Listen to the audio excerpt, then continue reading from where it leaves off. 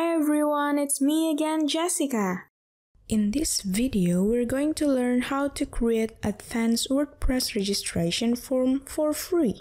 First of all, please make sure you already installed the BuddyPress plugin beforehand. Go to WordPress admin and go to plugin section and then add new. Find BuddyPress plugin by searching bar, then install and activate it. After that, we will install the Youzify free version. Which you can find in the plugin option, then click add new and type Youzify plugin on the search bar. Then install and activate it. Next, let's set up the registration page.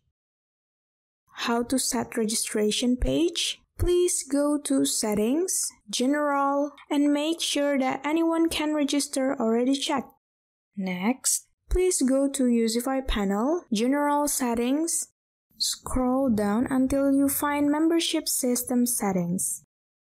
And make sure Activate Membership System has already turned on. Next, please go to Youzify panel, Membership Settings, Register Settings. Please make sure Enable Registration has already turned on. The last step, please go to Settings, BuddyPress, Pages tab. Make sure you already choose Register Page. After you install BuddyPress on your site, you should get Register Page automatically so you don't need to create a new one.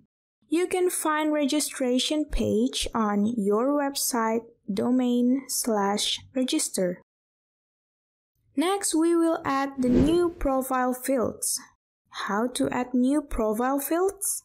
Youzify is fully integrated with the BuddyPress X profile fields. This feature gives you the power to easily create as many profile fields for your members' information, such as name, gender, age, etc. This feature serves to add fields that can be filled by members as identities on the profile.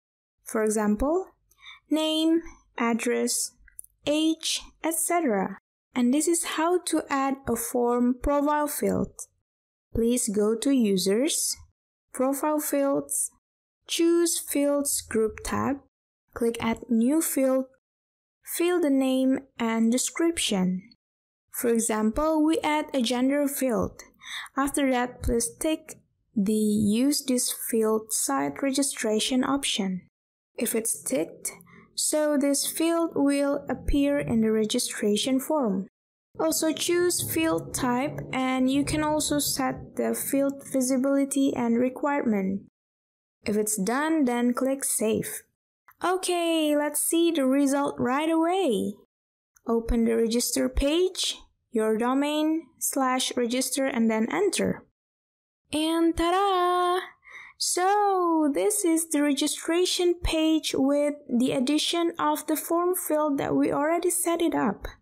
Okay, that's the tutorial about how to create a fans WordPress registration form for free. Hope it's useful and see you in the next video.